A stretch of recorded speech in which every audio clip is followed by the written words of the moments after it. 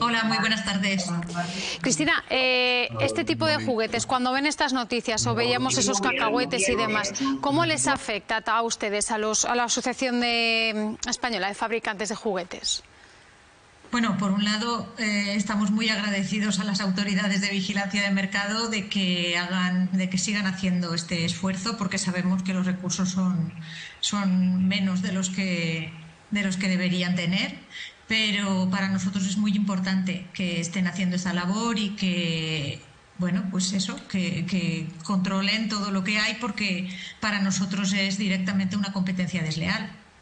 Nuestros fabricantes, las marcas eh, responsables, las que tienen, las que ponen su reputación eh, con su nombre eh, en, la, en, la, caja del juguete,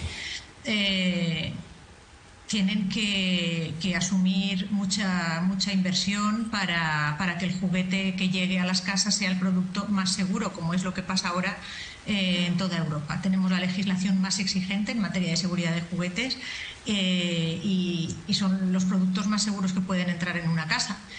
Todo esto, eh, si está empañado primero por la pues la competencia injusta en precio del juguete que no cumple.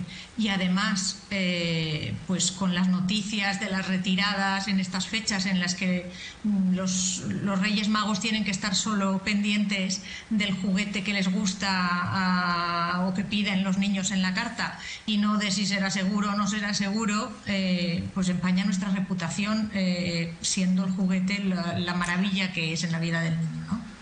Así que sí nos Buenas tardes, perdona que te interrumpa. Hacía eh, hincapié nuestro invitado de hoy, el consejero de protección de consumidores y usuarios aquí del Gobierno de Aragón, en el comercio de proximidad, de cercanía, precisamente para saber que compramos un producto, sobre todo en este caso de juguetes, fiables.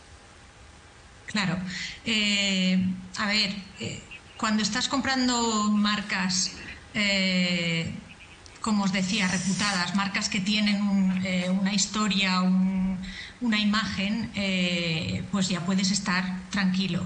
Cuando compras en comercios que también eh, a los que puedes acudir cuando hay un problema y que se hacen responsables del producto que están poniendo en las estanterías, también puedes estar tranquilo.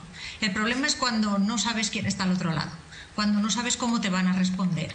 Y ahora mismo, pues lamentablemente los eh, no es el comercio online en sí, es, son los, los mercados estos, los marketplaces en los que cualquiera puede poner eh, un anuncio de su producto y esa página te redirige a, a, su, a su página de venta. Y tú le estás, estás actuando como importador realmente, porque te llega a casa en un paquetito, ¿no? Ahí no hay nadie que se haga responsable. Cristina, eh, no le vamos a quitar más tiempo porque sabemos que son unas fechas más que especiales y que pues, los Reyes Magos y Papá Noel están trabajando sin parar, así que muchísimas gracias por atendernos. Vosotros.